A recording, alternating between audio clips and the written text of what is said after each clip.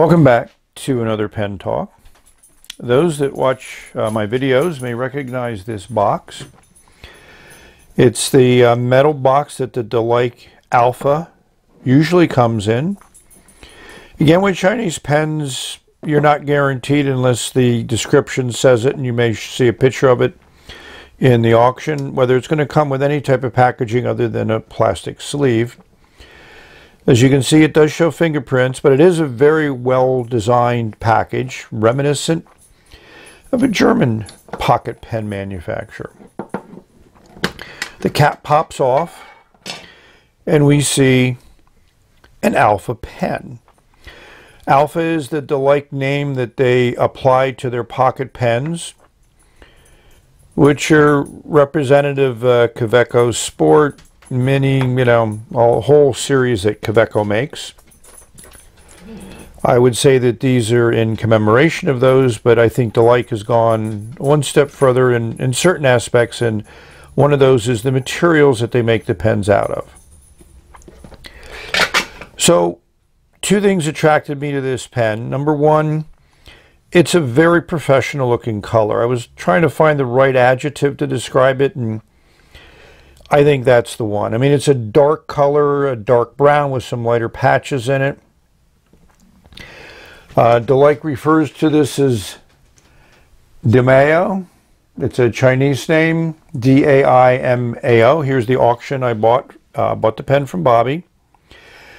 And the other thing that attracted me with this is it's made from an acetate resin, which is a blend of cotton fibers, cellulose acetate, kind of reminiscent of what Omas uh, reported to use in uh, many of their pens. This is just a screw-off cap, you know, about one and a half turns. It was very nice that I was able to get it with uh, the bent nib, which I really like, the extra fine bent. The section is the same material as the rest of the pen. It's just a little bit darker. So when they, whenever they machined this section, it was out of a piece of the resin that didn't have as much of that light brown spots in it.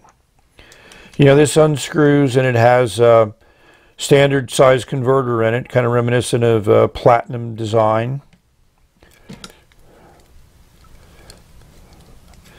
The uh, cap unscrews, which is what the problem was there. So, you know, it goes up and down very easily, easy to take apart.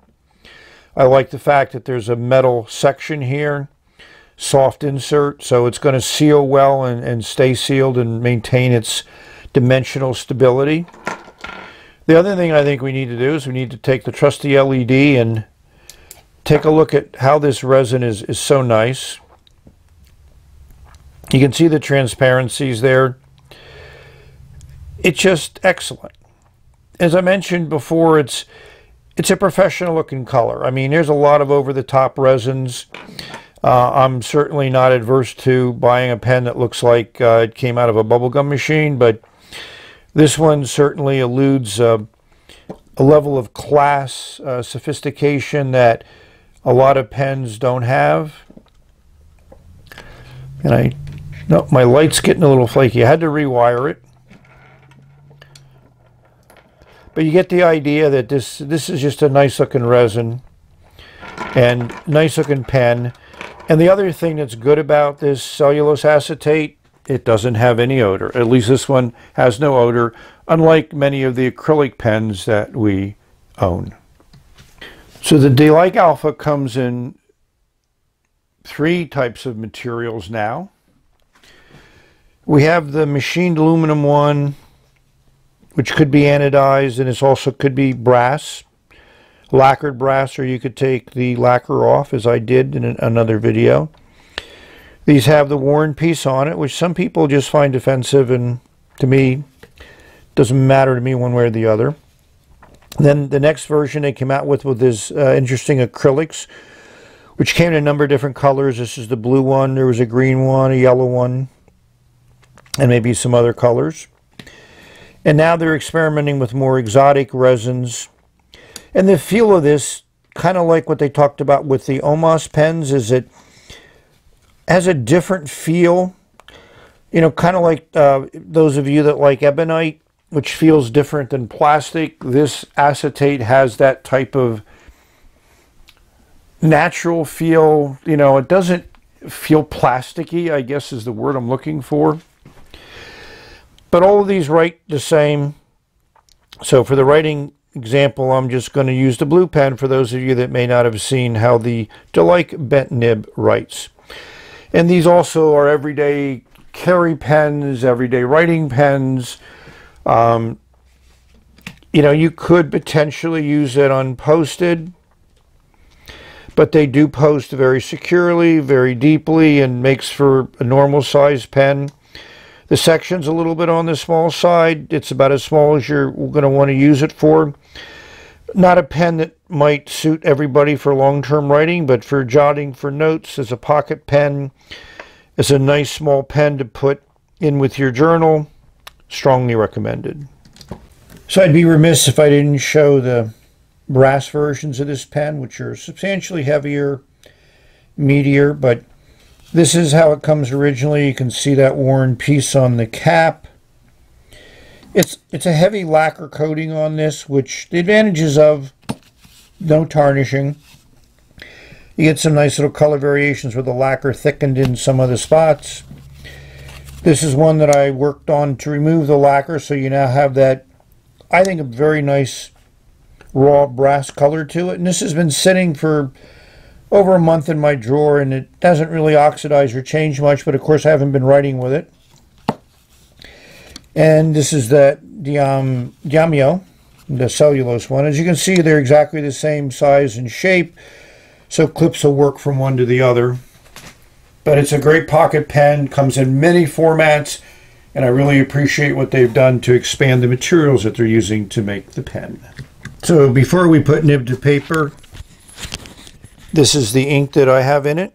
Haven't done a review or anything on it. It's a good blue ink.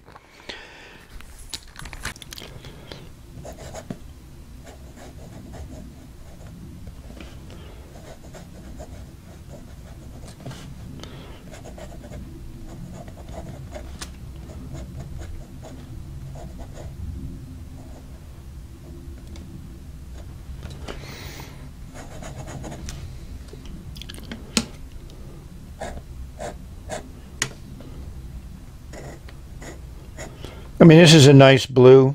As you can see, the nib lays down a nice wet patch of ink. And even though this is called an extra fine, it'll do a fairly broad line, which I'd say is equal to a broad. Reverse is good. Yeah, it's an extra fine. So I just like these bent nibs. I've not had one that I don't like. They're extremely smooth. So we'll call it X Smooth. And as you can see, fairly wet. I think the Diamine Presidential Blue is a fairly wet ink uh, in, in, to begin with. And I'd put it into Shizuka Konpeki, you know, Noodler's Bay State. It's just a really nice blue. So I like that. So we've reached the end of this quick video. I just wanted to give you a heads up on that acetate version of the Alpha. So thank you for watching.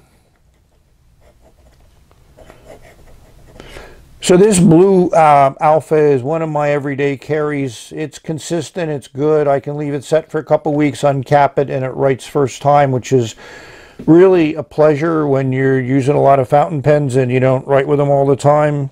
It's uh, frustrating when you take the cap off and it takes you a couple minutes to get it to write, but this one does not have that issue whatsoever. So we've reached the end of this video and may it encourage you to explore different types of nibs on, on pens. And the bent nibs I strongly recommend is everyday writer nib, um, a nib that you will not be unhappy with. So I haven't rated the, the Alpha pen so it's going to get a 9.0. I think it's a great small pen. They're light, small sections, but that's part of a small pen. You know, that's what you get when you go to the, go that route. But very easy to carry, very easy to throw in your pocket, purse, you know, uh, put into your journal, that little elastic flap that sometimes the larger pens won't fit into, so they have their advantages. So we've reached the end of this video. May you have a great pen writing day. Enjoy putting ink on paper. Until the next video, bye. Nice ink.